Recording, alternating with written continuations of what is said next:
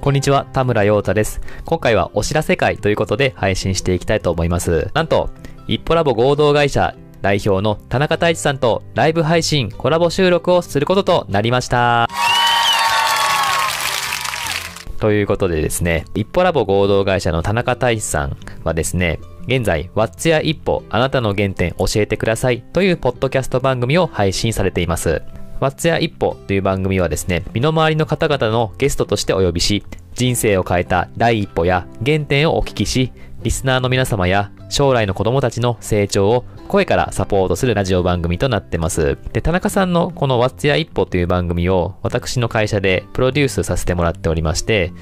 今回田中さんの番組で50回記念を迎えるにあたって、今まで番組配信をサポートしてくれた田村ディレクターにぜひ出てもらいたいということでですね、お声かけていただきまして、今回ライブ配信をすることとなりました。田中さんの番組と私自身が配信しているサニーデイフライデーのコラボ企画ということで配信していきたいなと思ってます。で、田中さんとはですね、私の出身大学である東京外国語大学の先輩後輩という関係でお付き合いがあったんですね。まあ、直接の知り合いではなかったんですけれども、共通の知り合いがいて、そこで田中さんを知ることになって、で、以前サニーデイフライデーにもゲストに出ていただいたんですね、田中さんに。そのきっかけもあって、田中さんの会社の番組配信をサポートさせてくださいっていうことになって、今もお付き合いさせていただいています。で、実はポッドキャストの収録とか配信以外に、今まで接点がなかったっていうところもありまして、今回のライブ配信だったりとか、コラボ収録で、ぜひお互いの人となりをぜひ知っていきたいなと思いまして、今回この収録につながることができました。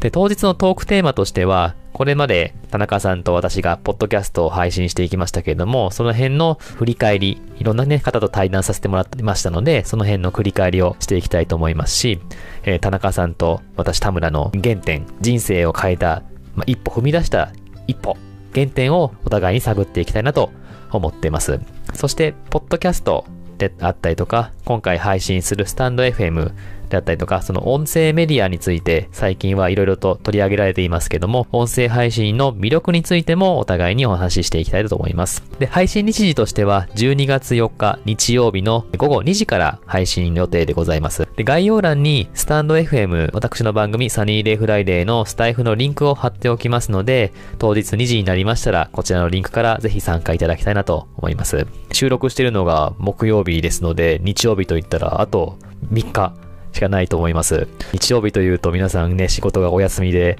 もうそんな午後2時には寝てるわとか、もう外出してるわって方がいらっしゃるかもしれないんですけども、よければね、音声配信、ポッドキャストは耳で聞くプラットフォームですから、目とかはね、自由にいろんなね、とこ見ておいてもらってもいいので、ぜひ耳だけは私たちのために開けていただけるととても嬉しいので、ぜひ日曜日の2時にお耳で会いましたら、とても嬉しいと思います。それでは今回は告知会ということでお話しさせていただきました。また日曜日2時によろしくお願いいたします。